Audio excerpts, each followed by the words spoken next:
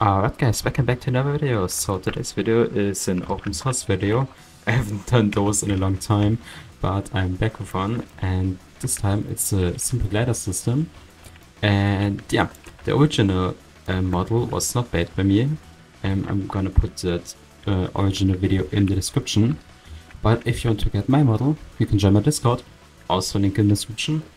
And then you just have to, um, then you can just go into here, go into the open source information channel, click this check mark, and then you get access to um, the open source channel where you can get the glider system. Okay, but uh, now back to the model. Um, I'm only gonna say, I'm not gonna expla really explain this here. I'm just gonna show you how you can modify this and how it's look uh, and how it looks. So, um, yeah, if you spawn in, the basic keybind for this is on PC is space. Then you can just pull out the glider. And to cancel it, this is also space. Just the same button again. Um, it also works for mobile and for controller. So that's something uh, pretty cool. So what I've added now is uh, those animations. You can animate the glider with the character. That's one thing that I added. Then I also added um, like wall collision, like this. It uses my own vector system. Um, yeah. Uh, then I also added that you can't, well, from from from the ground up you can't use a glider. You can also modify all of this. And some other small stuff like sounds, etc, etc. Uh, you can view them all here. That's some stuff that I added. Yeah. Um, so now um, on how to modify it. So you can modify the keybinds in the glider star uh, in the glider local script that is in starter character scripts. Here up here you can see. Uh, okay, I'm gonna showcase that first. So there's this option mobile jump trigger. You can set that to false or true. If it's false, then the for, for mobile players, it will not use the jump button as the glider activation button, but if you set it to true, um, it will use the jump button as a glider activation.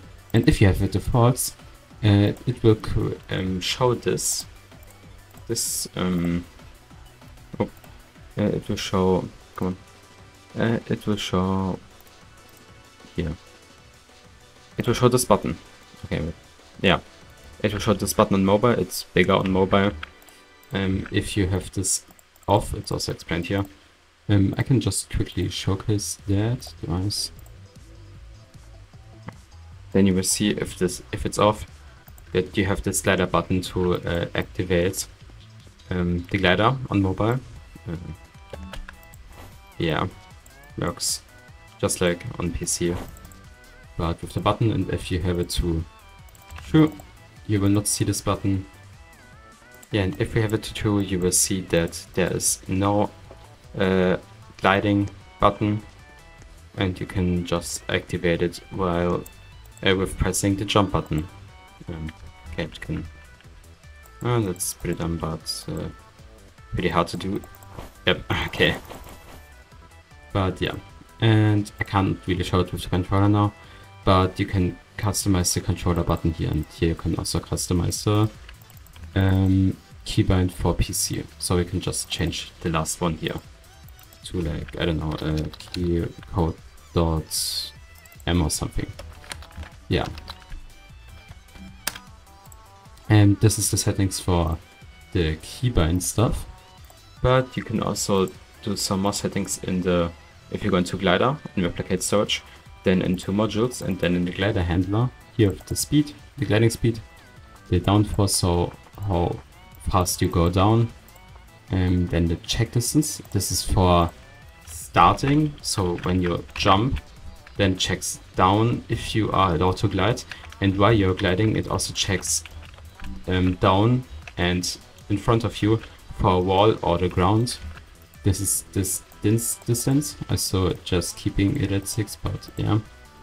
And then is, that is the start check distance. Yeah, okay. So this is not the start distance, I forgot. But this is the start distance, so it checks if you're at least 13 um, studs off the ground. Then you can start and this is the damage that you can get from mods. Yeah, the code is pretty simple. Um, you can easily customize it um, how you want, but yeah, this is basically already the whole video. Um, you can join my Discord to get it, as I said already. And um, anyways, yeah, I hope you have a great day and see you in the next video. Bye!